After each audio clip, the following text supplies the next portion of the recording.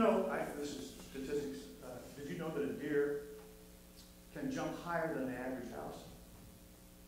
Yeah, it's, it's because of their strong hind legs and the fact that the average house can't jump. Yes.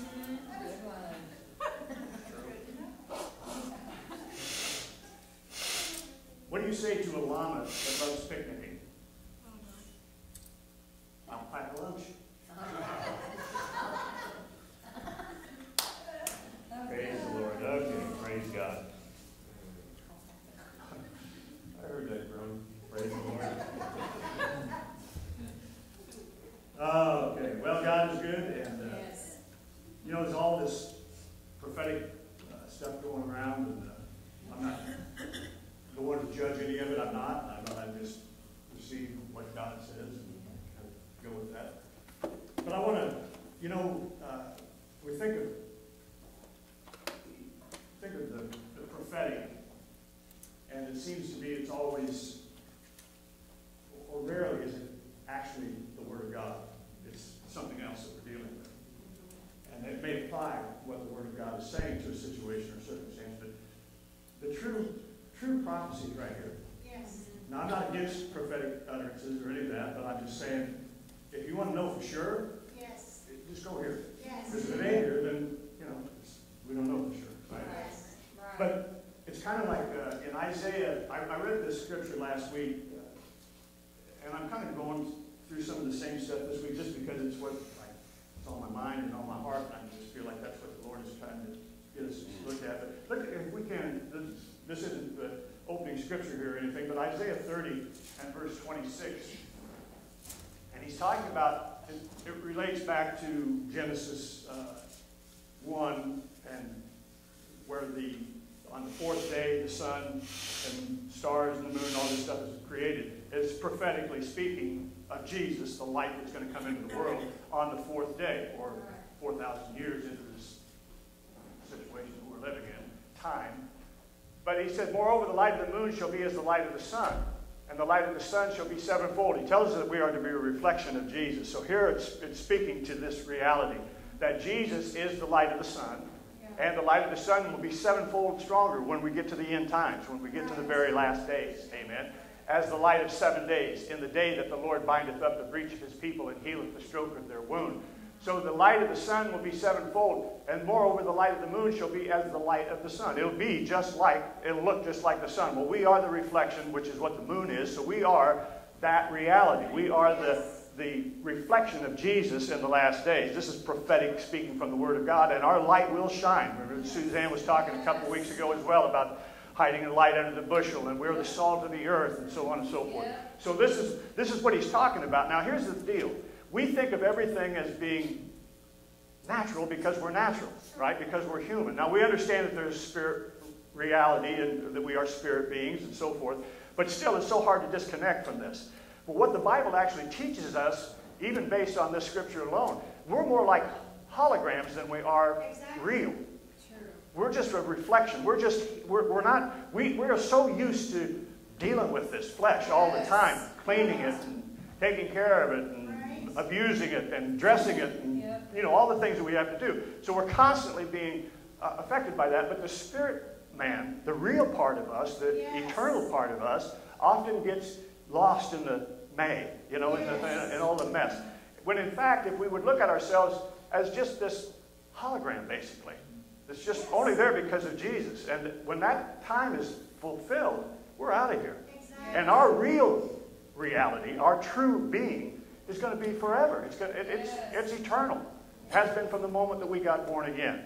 And so I, I just, I want us to understand, I, I want us to focus more and more in, in the times that we live in. I'm not saying this is the last day, but I'm saying it sure could be because of the way everything looks and the way everything's unwinding. I'm not trying to freak people out. I'm not nervous about it or afraid. Right. It either is or it isn't. Either way, God's still got charge. He's in control. But so we live our lives as though He's coming tomorrow, Yes. but we don't just sit down on a couch somewhere and just say, well, okay, well, there's no point in going to work, or there's no point in doing this, or taking care of the family or anything because Jesus is coming.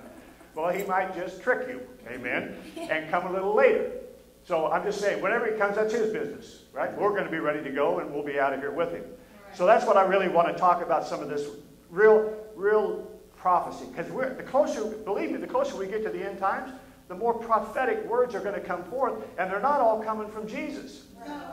We know that the, even the, if it weren't for his return, even the righteous would be confused and hung up in all this stuff and start to follow false teaching and all the rest of that. So we need to stay. I'm not, again, I'm not saying don't believe in prophecy. I'm saying believe in the Word of God first and foremost, and the rest, the rest of the stuff will take care of itself eventually, anyhow. Praise the Lord.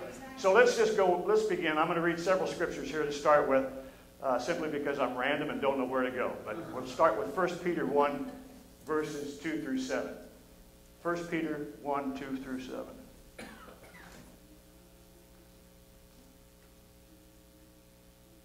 elect according to the foreknowledge of God the Father through sanctification of the Spirit unto obedience and sprinkling of the blood of Jesus Christ, grace unto you and peace be multiplied.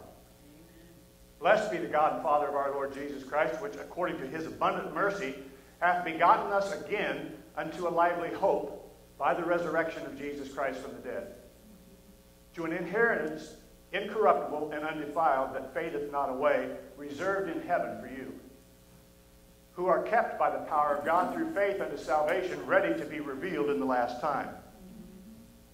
Wherein ye greatly rejoice, though now for a season, if need be, ye are in heaviness through manifold temptations. Anybody can relate to that in the days that we're living right now, right?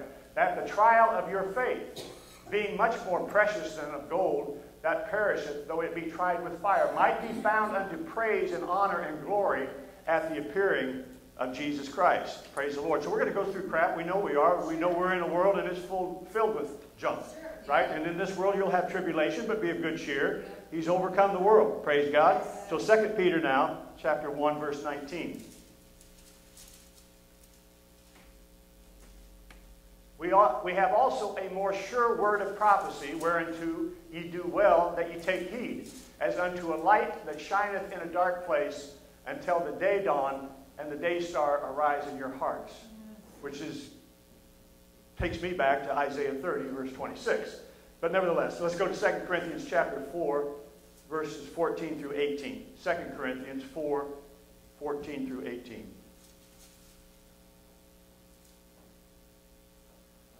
Knowing that he which raised up the Lord Jesus shall raise up us also by Jesus, and shall present us with you. Knowing that he which raised up the Lord Jesus shall raise us up also by Jesus, shall present us with you. For all things are your, for your sakes, that the abundant grace might, through the thanksgiving of many, redound to the glory of God. For which cause we faint not, but though our outward man perish, yet the inward man is renewed day by day. For our light affliction, which is but for a moment, worketh for us a far more exceeding and eternal weight of glory. While we look not at the things which are seen, but at the things which are not seen. For the things which are seen are temporal, but the things which are not seen are eternal. Yes. And we'll finish with this Ephesians chapter 3, 18 through 21. Ephesians 3, 18 through 21. So may be able to comprehend with all saints what is the breadth, length, depth, and height, and to know the love of Christ which passeth knowledge, that ye might be filled with all the fullness of God. Now unto him that is able to do exceeding abundantly above all that we ask or think, according to the power that worketh in us, unto him be glory in the church by Christ Jesus throughout all ages, world without end. Amen. Praise the Lord. So, our physical world is subordinate to a larger, transcendent spiritual world, which is the superior reality. Praise the Lord. And the Bible also reveals a universe of more than three dimensions. Mm-hmm. It talks about a, actually, they talk about 10 dimensions, but I'm not going to get into all of that, but the Bible's saying there's more than three dimensions, and it reveals a creator that is transcendent or beyond the material universe. So none of those things bind him, or, or, or, or is he bound by them, or is any spirit. That's all a miracle really is, is a cessation of time, Yes.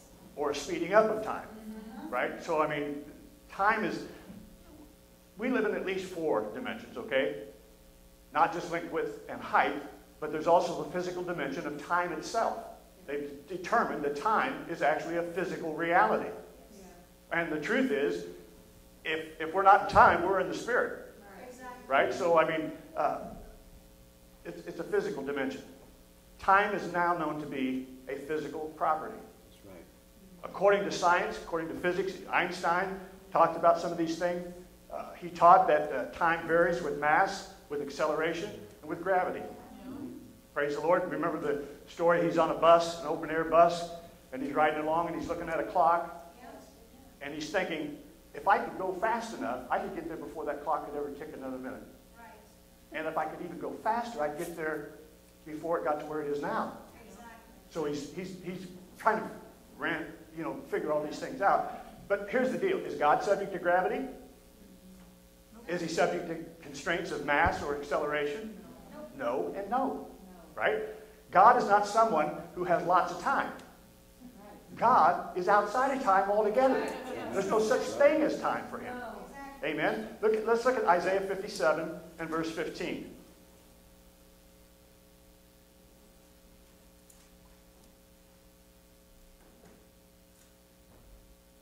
For thus saith the high and lofty one that inhabiteth eternity, whose name is holy. I dwell in the high and holy place with him also that is of a contrite and humble spirit, to revive the spirit of the humble and to revive the heart of the contrite ones. So, in God's eyes, we are already in eternity. Our spirit being, that born again part of us, is, which is his child. He already sees us this way. He knows the end from the beginning, right? So it's already a done deal as far as he's concerned. He inhabits eternity, and since God has the ability to create us, then he for sure has the ability to get a message to us. Praise the Lord. But how does he authenticate his message? And that's the question that we all struggle with when somebody gets up and wants to prophesy, right? And I, you know, we, most of us have been in church long enough, and in the Pentecostal circles at least, and others as well, I'm sure, but I know, uh, and I'm not speaking for all churches, just some experiences I've had where people would get up and prophesy, and all they would do is condemn everybody in the church. Seriously. And the scripture clearly teaches that all prophecy is to edify, to build up, and to encourage. And yet people are claiming that they're speaking for God, and all the time they're condemning the people that God loves. So that's, that's part of it. But he's, how, does, how, how can God authenticate his message?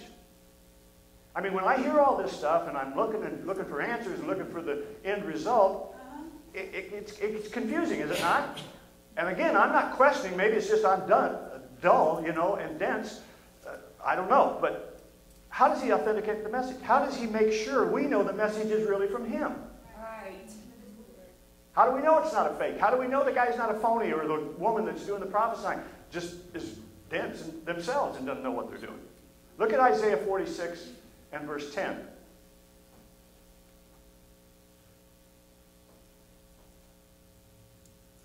Declaring the end from the beginning and from ancient times the things that are not yet done, saying, My counsel shall stand and I will do all my pleasure. So, one way is to demonstrate that the source of his message is from outside our time domain. It's from outside of time, right?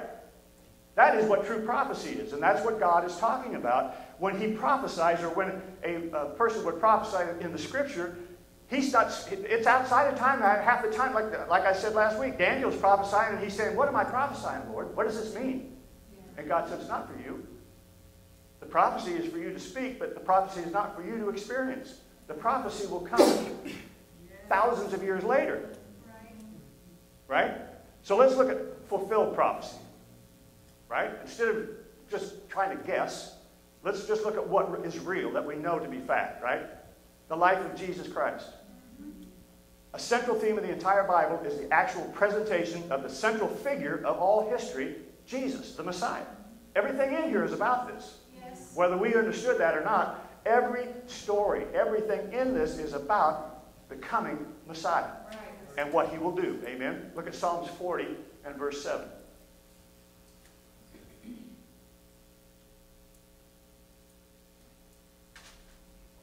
Then said I, Lo, I come.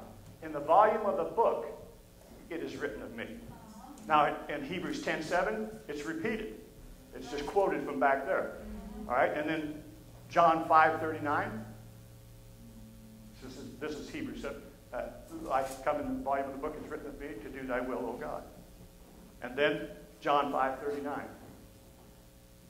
Search the scriptures, for in them you think you have eternal life and they are they which testify of me.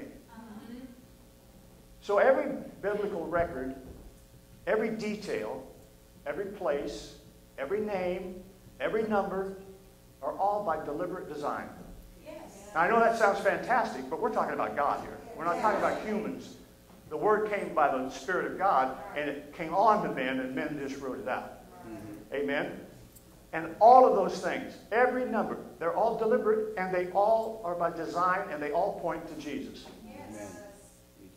He's on every page, intricately hidden in every detail yes. to be revealed mm-hmm.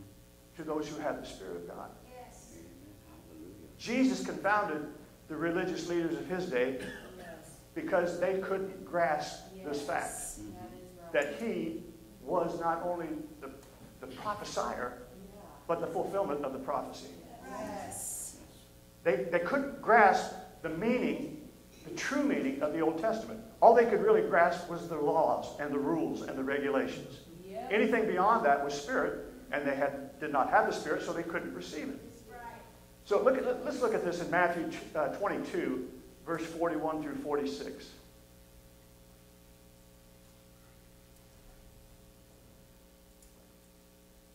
And I mean, we should have, we should have peace in the midst of chaos and trouble.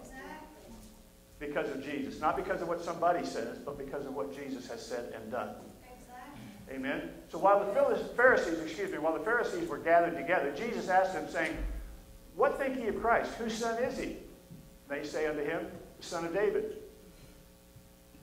He saith unto them, How then doth David in the Spirit call him Lord? saying, The Lord said unto my Lord, Sit thou on my right hand till I make thine enemies thy footstool. If David then called him Lord, how is he his son? And no man was able to answer him a word, neither durst any man from that day forth ask him any more questions. They couldn't understand what he was talking about.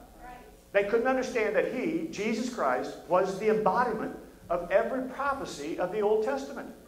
It totally went over their heads. They just didn't grasp it at all. And today, we've got to make sure that we don't fall into the same trap yes. by failing to see Christ for who he was prophesied yes. to be. Yes.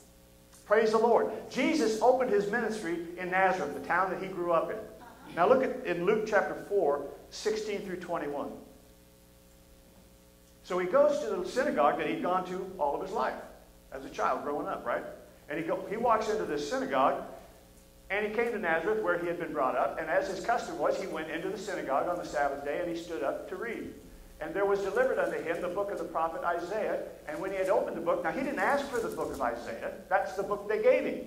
Mm-hmm. Right? Yeah. So he, he, he, it was delivered to him there, the book of the prophet Isaiah. And when he had opened the book, he found the place where it was written, the Spirit of the Lord is upon me because he hath anointed me to preach the gospel to the poor. He hath sent me to heal the brokenhearted, to preach deliverance to the captives, and recovery of sight to the blind, to set at liberty them that are bruised. to preach the acceptable year of the Lord. Hallelujah. And he closed the book and he gave it again to the minister and he sat down and the eyes of all of them that were in the synagogue were fastened on him.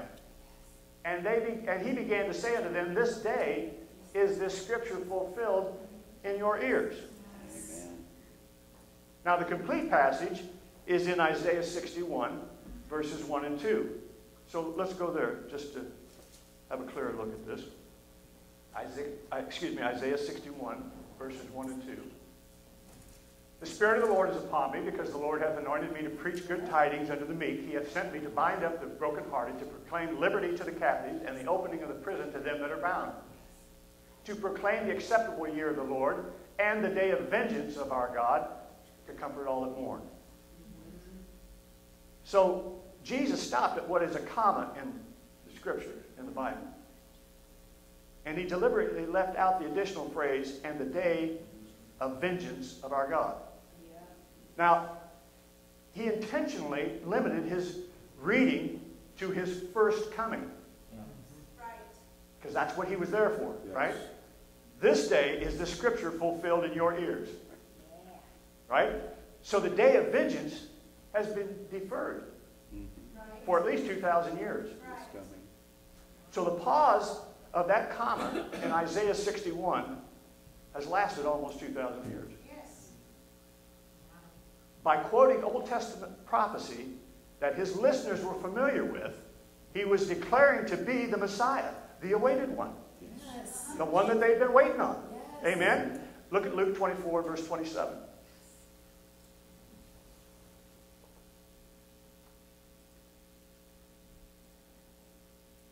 And beginning at Moses and all the prophets, he expounded unto them in all the scriptures the things concerning himself. Praise the Lord. So here, what does he do? He's reinforcing God's sovereignty by speaking a plan that involved salvation of all of humanity Yes. for all for whosoever would. Amen. And so some some people even today deny that he claimed to be God. But anybody who's unaware of his claims hasn't really read the Bible. He, he's declaring that he's God. Yes. Amen. His claim to be God is the very reason they crucified him. Yes. The issue is still were his claims valid? Our individual destinies hinge on that issue. Not everybody that says, Lord, Lord. You know what I'm saying? Not everybody is truly a Christian. And I'm not making the decision who is or who isn't. That's up to God. I'm just saying, not everybody believes Right. the truth of who Jesus is. That's true. Now look at Matthew 5, 17 and 18.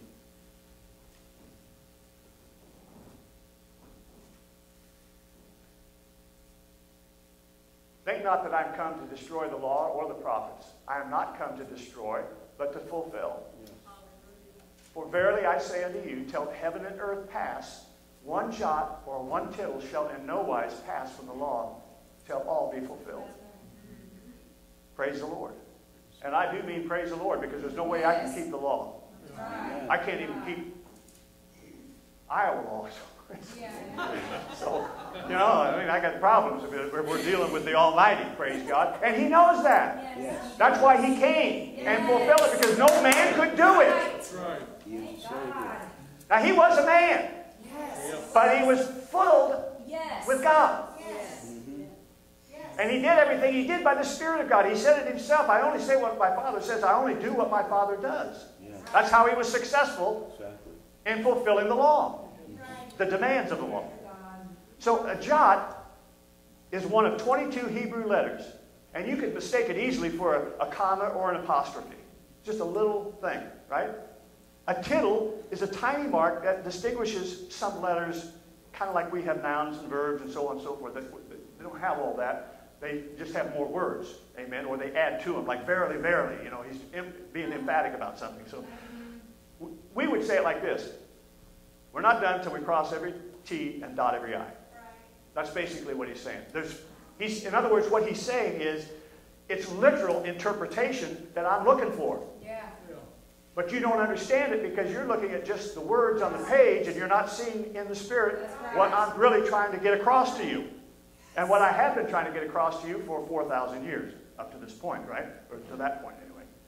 So we need imp- precise interpretation. A literal view, now, don't misunderstand me. A literal view doesn't deny the existence of figures of speech or metaphors or similes or analogies. You know, I mean, that is, that's not what we're talking about. It doesn't have to be word for word, you know. In fact, uh, God uses those things himself. Look, look at Hosea 12:10.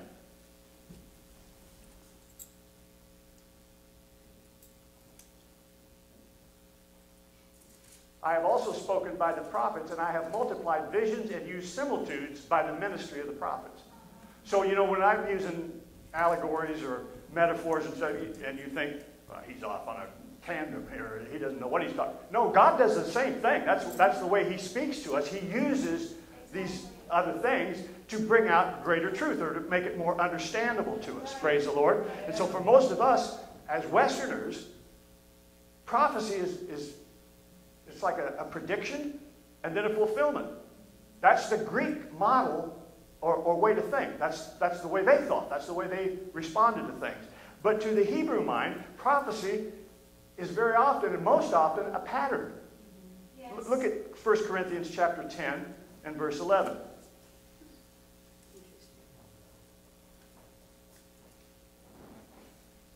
Now all these things happened unto them for ensamples, or examples. And they are written for our admonition upon whom the ends of the world are come. So that ensamples, that Greek word is tupos. And it's where we get the word type. It's an anticipatory pattern or symbol. Right? And so look at Genesis chapter 22, verses 13 and 14. And I'll show you an example here. Genesis 22, 13 and 14. This is Abraham. God's told him to go sacrifice your son and so forth, right? So Abraham lifted up his eyes. He's got Isaac is on the altar. Isaac's bound. He's ready to got the knife raised. And Abraham lifts up his eyes and he looked, and behold, behind him a ram caught in the thicket by his horns. And Abraham went and took the ram and offered him up for a burnt offering in the stead of his son. And Abraham called the name of that place Jehovah Jireh, as it is said to this day, in the mount of the Lord it shall be seen. What will be seen? God's deliverance. Yes. God said that child is going to be the father, you know, it's going to be the, the progenitor of all of humanity that are going to be saved, all the righteous, all the believers, right?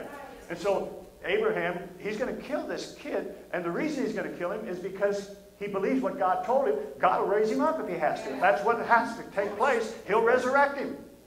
Right? So Abraham's in the role of the father. Isaac is in the role of the son. Abraham apparently realizes this is an anticipatory uh, enactment of a prophecy because he named the site. God will show up. God will be there. Jehovah Jireh. God will provide. Right. Right? He tells his son, God will provide a ram, a lamb for the sacrifice, right? So in the mount of the Lord it shall be seen. What? The fulfillment of God's prophecy, of God's word.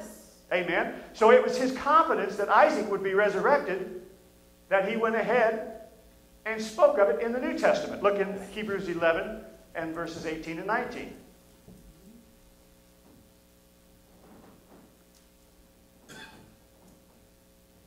Of whom it was said that in Isaac shall thy seed be called, accounting that God was able to raise him up, even from the dead, from whence also he received him in a figure.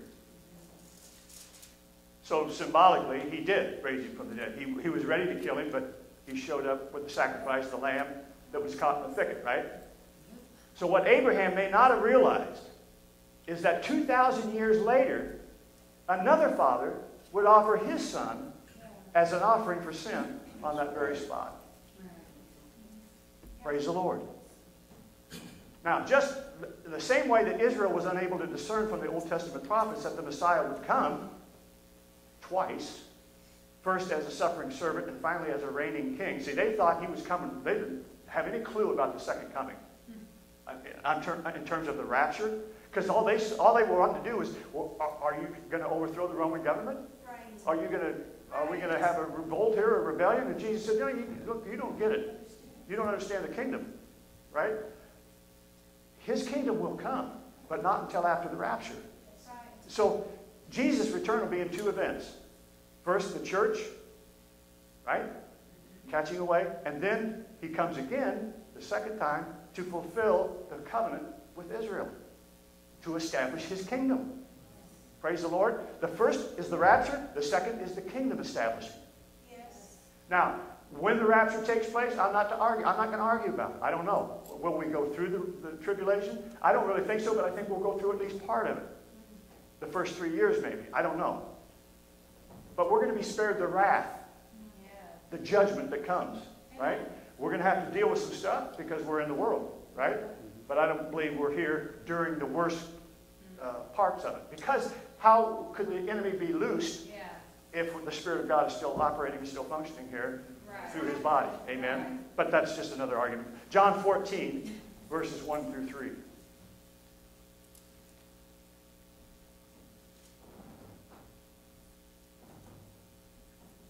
Let not your heart be troubled. You believe in God, believe also in me. In my Father's house are many mansions. If it were not so, I would have told you. I go to prepare a place for you. And if I go and prepare a place for you, I'll come again and receive you unto myself, that where I am, there you may be also. 1 Thessalonians 4, verse 13 through 18.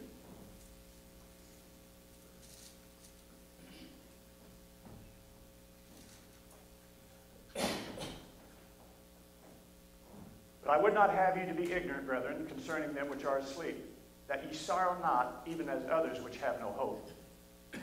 For if we believe that Jesus died and rose again, even so them also which sleep in Jesus will God bring with him. For this we say unto you by the word of the Lord, that we which are alive and remain unto the coming of the Lord shall not prevent them which are asleep. Praise the Lord. The Lord himself shall descend from heaven with a shout, and with the voice of an archangel, and with the trump of God, and the dead in Christ will rise first. Then we which are alive and remain shall be caught up together with them in the clouds to meet the Lord in the air. So shall we ever be with the Lord. Wherefore comfort one another with these words. So this great cloud, it's a cloud of witnesses that we read about that's looking at what's going on with us and saying, God, I wish I would have been born in that day because that's the time we were all looking forward to and hoping to be a participant in. That's a great cloud that we get, those that have already gone to be with the Lord. Yes. Amen. 1 Corinthians 15, verses 51 through 53. 1 Corinthians 51, or excuse me, 15, verses 51 through 53.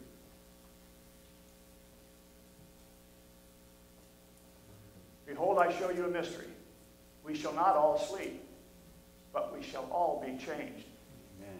In a moment, in the twinkling of an eye, at the last trump, for the trump of- shall sound, and the dead shall be raised incorruptible, and we shall be changed. For this corruptible must put on incorruption, and this mortal must put on immortality. Hallelujah. Now, when he talks about, can you go back to verse 51 again? Sorry. Behold, I show you a mystery. We shall not all sleep. Now, it's interesting because he said, those who are asleep, that we shouldn't mourn for those who are asleep, as some do. Now, remember when Lazarus was, he was told that Lazarus was dead? He said, no, he's sleeping. Same thing with the little girl that he raised from the dead. Why did he say, why did he say, okay, he's dead, but I'm going to raise him from the dead? Because as far as Jesus was concerned, he was alive. He wasn't dead. He was still alive. The spirit man was alive. And he went there and just brought the body back to life. Same as he did with the little girl. So that's what he's saying to us. The people we think of as dead, they're not dead. Right. They're asleep. Their bodies are just sleeping somewhere, even if they've disintegrated. Yes. Amen? Or been cremated. It doesn't matter. Right. They are alive Yes. and with the Lord. And when the time comes, the Lord will resurrect a body, a spiritual body for them that'll never age, it'll never be tempted, it'll never go through all the junk that we have to go through. It will, it will create this oneness with the Spirit. Praise the Lord. So that's, I mean, he's trying to get us to understand there is nothing to fear in any of this. No. Praise the Lord. Look at, I'm going to just show you for some examples here. The old Jewish weddings consisted of several phases. Remember Jesus came and they ran out of wine. It was like seven days. Yeah. They've been partying for seven days, drinking, you know, and having a good time celebrating the wedding. Yeah. Mm-hmm. And they run out of wine. And so what does Jesus do? Condemn all of them for drinking? No. No, he turns water into wine. Amen. Yes. Yeah. better. Now, I've, I've done some weddings. I'm not saying that everybody should do it this way, but I'm saying it doesn't bother me any. Uh, my cousin, in fact, I, I did her wedding, wedding here a few years back, and I mean, everybody was drinking. They had lawn chairs set up out in the yard, and they all got a beer can, and you know, I'm starting the wedding service, and I said, you know, this reminds me, and I've said it other times as well, but I said, it reminds me of Jesus at that wedding. And I said, but today he'd be turning water into beer. You know, into Coors Light or something. But I mean, that's the way uh, Jewish weddings consisted of several phases. And they seem to be the pattern or the prophetic word for what Jesus is going to do in our lives. Yes. It starts with a betrothal, a covenant, right? And it, and it also includes the payment of the purchase price because the guy who is going to marry this girl has to pay a certain amount, and the girl has to pay a dowry or whatever it might be. But there's a payment to be made in order for this wedding to take place. And the bride, at that point, and from that point on, is set apart. She's the same as being married, even though she hasn't had the ceremony yet, right? And the bridegroom, that, that means sanctified, mm-hmm. right? So it's, it's like us. The bridegroom then, he goes to his father's house to prepare a room addition for his new bride, for him and his wife.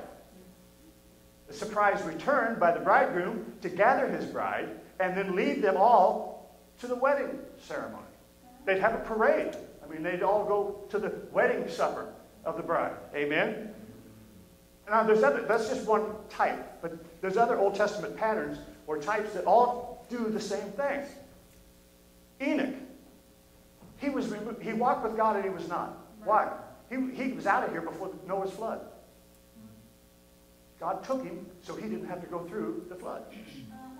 Isaac's absence after being offered. If you go back and read that story, all of a sudden he disappears. Ruth and Boaz. Ruth is at the feet of Boaz during the threshing floor scene. Look, I want you to let's look at this in Matthew 13. And I'm going to read a lengthy verse here, but it's Matthew 13, 37 through 58. And it'll show you the pattern that we're seeing a couple thousand years earlier. This woman who is in the lineage of Jesus becomes his great, great, great, great, great something grandmother, Ruth. And, and, and she's at the feet of the kinsman redeemer, who is Boaz, who's going to purchase all the stuff that she lost, and her, and her mother-in-law and her father-in-law, so on and so forth. So he says here, he answered and said unto them, He that soweth the good seed is the Son of Man. The field is the world. Now remember, they're on the threshing floor. She's at his feet, at Boaz's feet, the kinsman redeemer. The Son of Man. The field is the world. The good seed are the children of the kingdom. But the tares are the children of the wicked one. The enemy that sowed them is the devil. The harvest is the end of the world, and the reapers are the angels. As therefore the tares are gathered and burned in the fire, so shall it be in the end of this world. The Son of Man shall send forth his angels, and they shall gather out of his kingdom all things that offend them which do iniquity, and shall cast them into a furnace. Cast them into, that's okay. Cast them into a furnace of fire. There shall be wailing and gnashing of teeth. Then shall the righteous shine forth as the sun. Again, back to Genesis and Isaiah. In the kingdom of their Father who hath ears to hear, let him hear. Again, the kingdom of heaven is like unto a treasure hid in a field, the which when a man hath found, he hideth, and for joy therefore goeth and selleth all that he has, and buys that field. Again, the kingdom of heaven is like unto a merchant man seeking goodly pearls, who when he had found one pearl of great price, went and sold all that he had, and bought it. Again, the kingdom of heaven is like unto a net that was cast into the sea, gathered of every kind, which when it was full, they drew to shore and set down and gathered the good into vessels, but cast the bad away. So shall it be at the end of the world. The angels shall come forth and sever the wicked from among the just, and shall cast them into the furnace of fire. There shall be wailing and gnashing of teeth. Jesus saith unto them, Have ye understood all these things? And they say unto him, Yea, Lord. Then said he unto them, Therefore, every scribe which is instructed unto the kingdom of heaven is like unto a man that is a householder, which bringeth forth out of his treasure things new and old.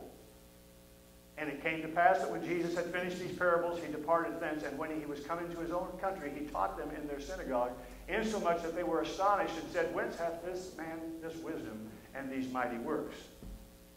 Is not this the carpenter's son? Is not his mother called Mary? And his brethren James and Joseph and Simon and Judas and his sisters, are they not all with us? Whence then has this man all these things? And they were offended in him. But Jesus said unto them, A prophet is not honored without honor, save in his own country and in his own house. And he did not many mighty works there because of their unbelief. We're living in a time where, uh, well, I mean, even when I was a child, uh, which was a number of years ago, it, it was normal to be thought of as a Christian. It was an average, normal thing. Today you're mocked. Yeah. Today you're laughed at. Today you're ridiculed as an idiot, a moron, bigot, homophobe, who knows what. Yeah. Anything that turn the attack on you. Jesus said, he did the same thing to me. Yep. So there has to be faith in order for miracles. There has to be a people who believe in their identity in Christ to do this. If you can just read that, that little 15, 20 scriptures, and you can see how valuable we are to God, how precious we are in His sight. Uh-huh. It's like the bridegroom and how infatuated he is with the bride. They haven't been married yet. Just kidding. But you know what I'm saying. They're just, you know, crazy. Do anything. I love her. You know, hey, come on, let's. And that's God's, that's his, he's trying to use something that we can understand to show us how much value we have to him, how much he loves us, how much he wants to do for us. Praise the Lord. How about, here's another. Daniel, absent from the fiery furnace. He, we know he didn't, we know he opened the windows and prayed. We know he was thrown in the lion's den. Why wasn't he in the fiery? It's, a, it's just a, a, sign. It's just a, a, pattern of being delivered. Some are going to die. Some are going to go through the fire, right? In the natural, some will be asleep. Some will go through the fire. But some won't. Some will be delivered. And even those who go through the fire end up coming out a winner, mm-hmm.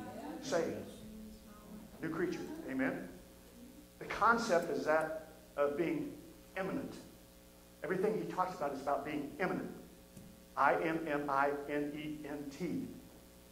The expectation of what God's going to do. Yes. That's called faith. That's, that's hope. That's, that's what we have to live by.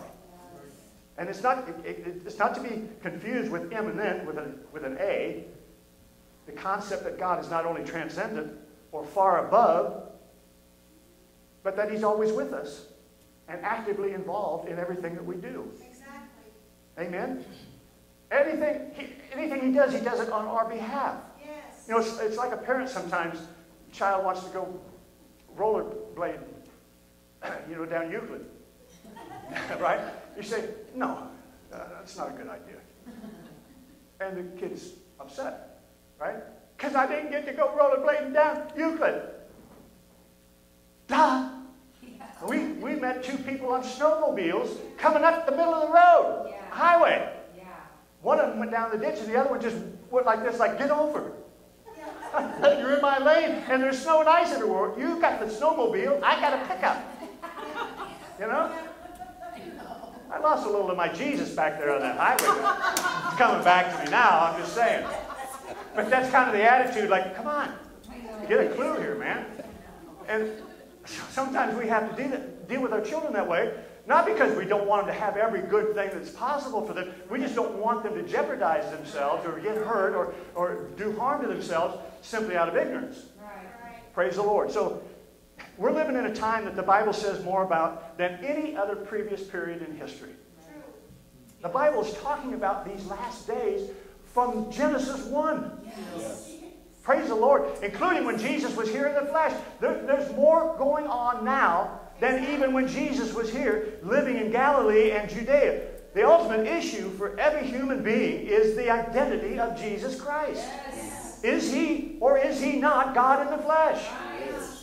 Praise the Lord. Is Jesus who he said he is? Yes. That's the question that's being ans- asked everywhere. Yes. Amen. His crucifixion was not a tragedy, folks. No.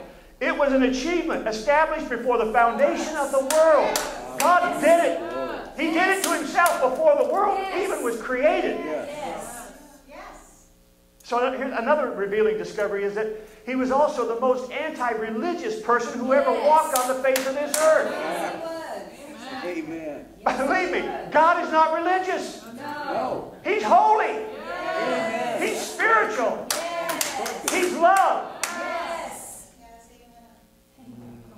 Religion is man's attempt to reconcile himself to God. That is right. And God said it can't be done. Amen. There's as much confusion on this subject in the church as there is outside of the church. Can I talk to people that are believers, that are Christians, and they'll argue about it too. Yes. The issue is relationship, not rituals. It's not what you know. Tim said it this morning. It's who you know. Yes. It's not how much you can quote. It's not how much you can point your finger at somebody else. It's how much do you know the Lord? How Yes. comfortable are you in the presence of God? Right. Matthew 7, 21 through 23.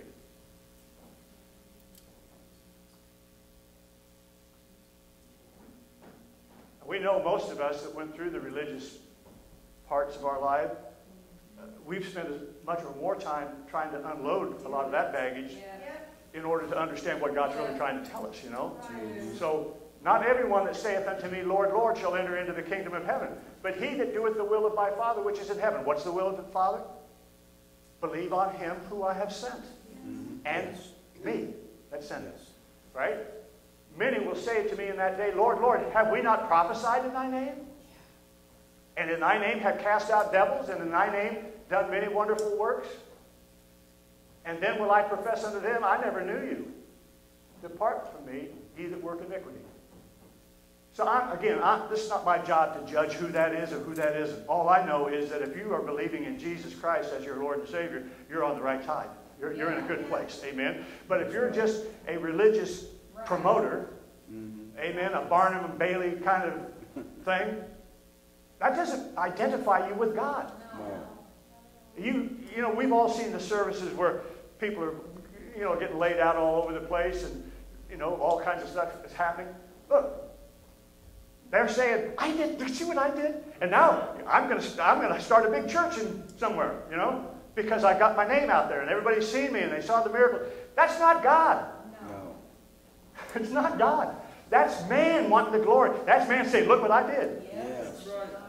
Amen. And, and Jesus even said in another place, he said, if, if, the, if the praise of man is what you're looking for, that's all you're going to get. Yes, true.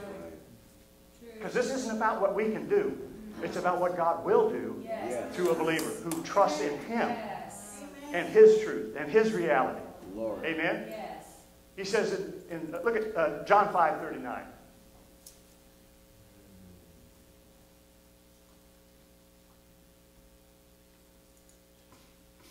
Search the scriptures, for in them you think you have eternal life. And they are they which testify of me. This, all of this is about is bringing us to Jesus. Yes. It's not about the rules and the regulations. It's about getting people to come to the saving knowledge of Jesus Christ. Right. Believe that God raised him from the dead and confess him as your Lord and Savior Yes. with your mouth. Believe in your heart, right? In your spirit. He says it in Revelation 3:20, "Behold, I stand at the door and knock. If any man, but think about that, anybody, I don't care who, I don't care your past, I don't care what you've been, I don't care what you are, I don't care any of that stuff. If anybody will hear my voice or and open the door, if you believe that God's there, that He's here, and you cry out to Him, He will come into you.